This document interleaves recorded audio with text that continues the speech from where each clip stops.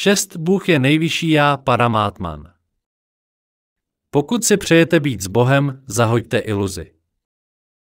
Naděje, jež je ukrytá hluboko v nejniternějších úrovních vašeho srdce a mysli, není nic než iluze. Iluze pokládá závoj na já. Já je uvnitř a iluze, neboli mája, překrývá já závojem. Brahman je pouze čiré vědomí.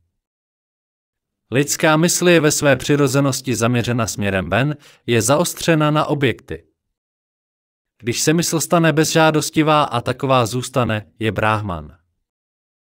Nicméně nepokládejte žádostivou mysl za bráhman. Neustále přemýšlet o smyslových objektech znamená zastřít já. Počátek zatemnění je moment, kdy je pozornost odvedena od já směrem k jiným objektům. To je iluze. To je mysl. Zůstat bez myšlenek je bráhman. Přirozenost je znakem bráhman. Není zde žádné trápení, žádná chtivost, žádná touha. I kdyby král ztratil celé své království a přitom byl v tomto přirozeném stavu, jeho mysl by nepocítila žádnou úzkost. Když je ukončeno objektivní fungování mysli, nastane zde tento přirozený stav a vy budete napevno usazeni v já. Když ustane soužení a trápení se světským životem, skončí tím zatemnění já. Iluze je potom viděna jako hra Boha Višnua a je nahlížena, jako by byla jedině jím. Je iluze viděna jen jako božská hra, dělá to mysl bezžádostivou a nakonec jí to osvobodí od všech potíží.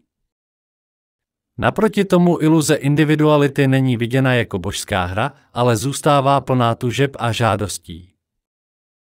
Individualita ego džíva jde ve své touze a očekávání až tak daleko, že nutí ostatní, aby mu v čase smrti bezpodmínečně dali napít vody, aby tělo nežíznělo.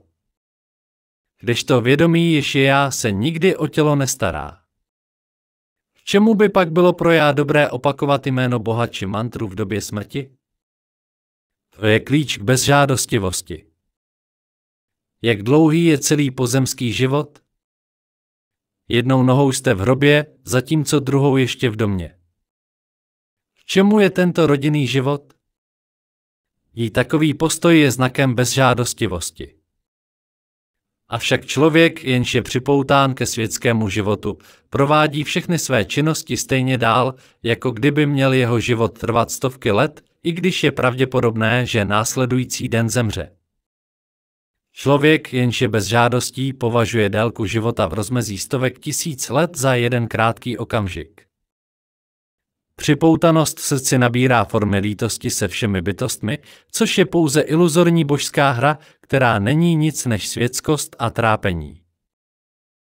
Kdybychom žít pro nejvyšší já Paramátman a dodržovat, aby byl náš čas, život zužitkován ve službě Paramátman. Ráno 20. listopadu 1934